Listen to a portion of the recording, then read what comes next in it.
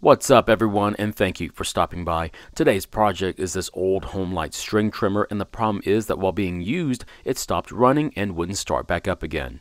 Now some would say it's just too old and not worth fixing, however I think it's got plenty of life left in it. Let's take a good look at it, find out what's wrong with it and hopefully we can fix it. In this video, we try and repair this trimmer, however, it may not be the exact repair you need to make to yours. We'll explore other options later in the video. So this trimmer is definitely worth fixing and the reason is that it was made when things were built to last longer than their warranty which is tough to say about the things that are being made today.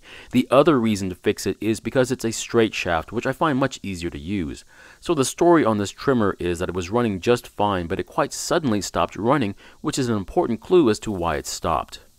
The first thing I want to do is slowly pull on the rope and feel just how much the engine is fighting back. If there's some resistance, then what I'm feeling is the engine's compression, and the more it fights back, the more compression it has. Now this is just a rough test, but I can feel the engine fighting back, so that means we have some compression. If the rope is easy to pull, then it means the engine is gone, and we can stop the diagnostic, because more than likely the rings are bad, and the only way to save this engine would be to rebuild it.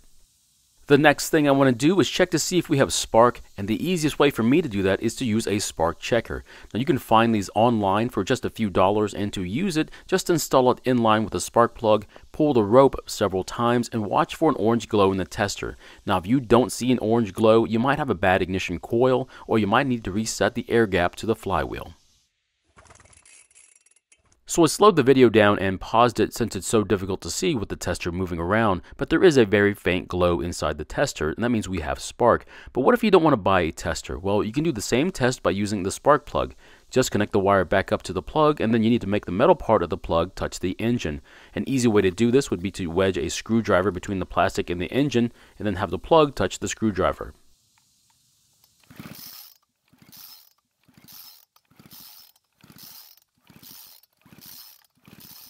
So luckily there were sparks at the tip of the plug and that means we do have a working ignition system. The next thing I want to do, or at least confirm, is how healthy the engine is by using a compression tester.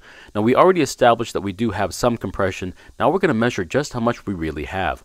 Now you can find these online for less than $20 and to use it, just install it into the spark plug hole, squeeze the trigger, and pull the rope several times. The tester will measure how much pressure the engine can make on the compression stroke. We want to see a reading well over 100 psi and the higher the better. We do not want to see a reading below 50.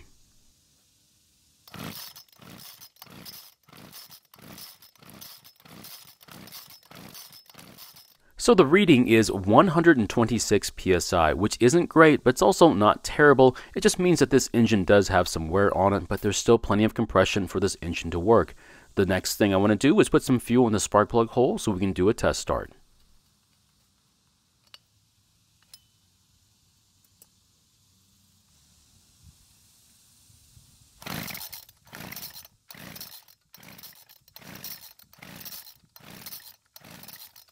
Unfortunately, the engine did not start, which is not good news. So we have all the things we need for this engine to run, which is spark, fuel, and compression, so it's strange that it's not starting. That's when I noticed something odd with this engine. When I was putting on the spark plug, I noticed that the top of the engine moves slightly. It's not supposed to be moving like this. This movement means more than likely there's some bolts that are loose, and if those are loose, that means there's got to be an air leak somewhere on the engine. What I'm going to guess is that the bolts that hold the cylinder to the block have loosened over time. If you look above the fuel tank, you can see two of them here, and on the other side, there's one more. Now to get to these bolts, we need to remove the fuel tank, and to get the tank off, we need to take off the rear cover. The first thing I want to do is disconnect the fuel lines, followed by the rear cover.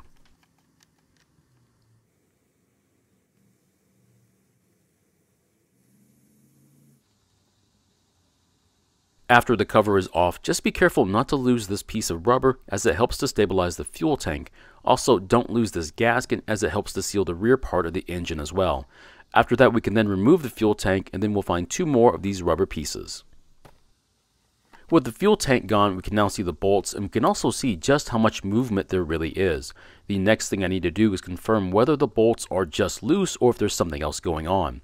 If I try and turn one of the bolts, you can see that it's just loose and we just need to tighten it up. I would just tighten it up and leave it alone, however, I'm going to remove the bolts and see if there's any damage to the threads or if there's any thread locker on it. So it looks like there's no thread locker on it and it just vibrated loose. That means we need to put some on it so this doesn't happen again in the future. Now to start, I want to clean the bolt and the threads in the hole to make sure that the thread locker will hold well. To keep things from coming apart, I'm going to work on one bolt at a time. I'm also going to let the thread locker set up for about 20 minutes before we use the trimmer, but 24 hours would be recommended for a full cure. I'm also using this T-handle so I can't put a lot of torque on the bolts, but if I had to guess on a torque, it wouldn't be more than 75 inch-pounds. Please don't get that confused with foot-pounds, otherwise you'll snap the heads off the bolts, then you'll have a big problem.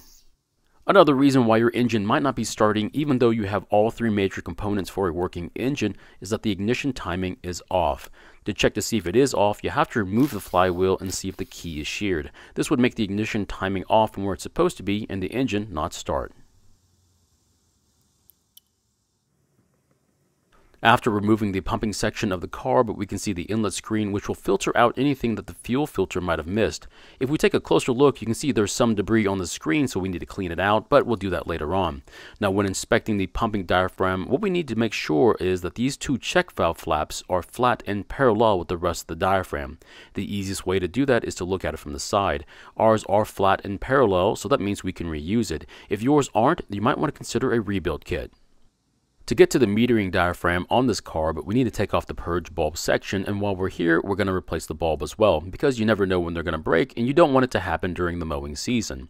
So here's the metering diaphragm, and if we push on it, you can see it's a little stiff, and I'd suggest replacing it. Now, it's not petrified, so it might still work, however, it's not going to work like it should. If we try to use the trimmer with this diaphragm, the engine might have a hard time idling, and it may run erratically when squeezing the trigger. Before we clean this screen, I want to test and see if fuel will flow through it. To do that, I'm going to fill the screen with fuel and then press the rocker arm on the other side of the carb. Now it should disappear from the screen, which ours does, and that means it's working like it's supposed to. If yours doesn't disappear, then you need to remove the screen for a thorough cleaning with carb cleaner, and since there really wasn't that much debris on our screen, I'm just going to use gas to clean it instead of carb cleaner. Since I do a lot of these repairs, I decided to buy a large quantity of these metering diaphragms of different styles, and the reason is it makes them extremely affordable. Now to find the one that I need, I just make sure it looks similar to the original one. I make sure that it has the same number of mounting holes and locating holes, and the last thing I check is the stem in the middle. They can either be long or short, and this one happens to be the long version. Now this one looks pretty much like the original one, so this is the one I'm going to use. I'm pretty sure the purge bulb would have lasted for some time, but now that we've changed it, I definitely know that it's going to last longer than the previous one. Now you can buy these as a single, but I would suggest buying a 5-pack as it costs almost the same as the single. Now once the carb is back together, we'll install it back onto the engine. So what about the fuel lines and the fuel filter? Well, this particular kind of fuel line is very resistant to ethanol and it doesn't harden over time, it actually gets softer. Now these lines are still in great shape, so I'm not going to change them. Before we can do a test start, we need to close the back of the engine, so that means we need to put the fuel tank back on as well. Now, I've been trying to come up with ways to rejuvenate the gas tank back to its original color instead of this dark color. It looks to be an issue of UV discoloration as the part of the tank that was covered up has experienced almost no discoloration. If you have any thoughts or ideas how you can do this, I'd appreciate it.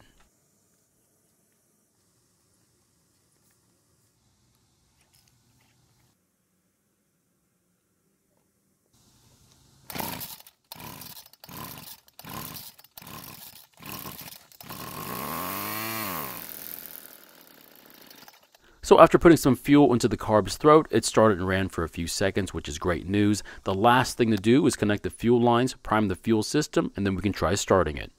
Before we try and start the trimmer, we need to purge the air from the fuel lines. That's the reason why we have this bulb.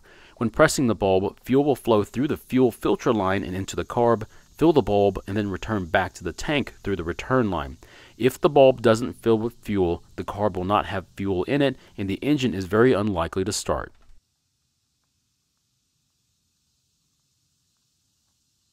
After a few presses, it's filled up, and that means we can try starting the engine. If it starts, I'll then try to adjust the carburetor if it needs it.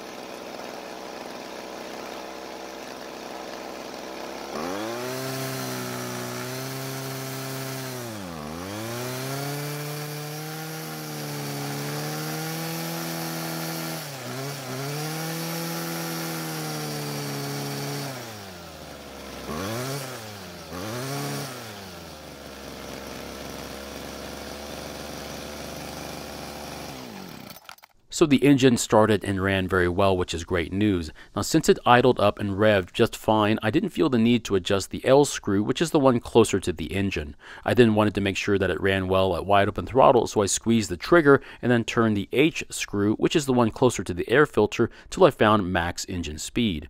I then turned the H screw counterclockwise about an eighth of a turn. The reason is the extra fuel will keep the engine from running too hot and destroying the piston rings. So what really happened to this trimmer? Well, the reason why this engine stopped in the first place is that the bolts holding the cylinder to the block vibrated loose and caused a massive air leak which stopped the air and fuel from being drawn into the engine.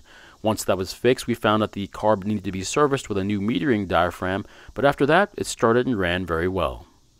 So my question is, when is a trimmer too old to repair? Now, most people would look at this trimmer and say it's not worth fixing, but I'll let you know something. This trimmer is very well balanced, powerful for its size, and in comparison, easier to use than some of the ones on the market now. If you're just starting out and on a tight budget and cannot afford a used straight shaft Stihl, Echo, or Husqvarna, I'd suggest buying this one instead. Thank you for watching. I really do appreciate your time here. Please feel free to ask me any questions, and I hope to see you in the next video.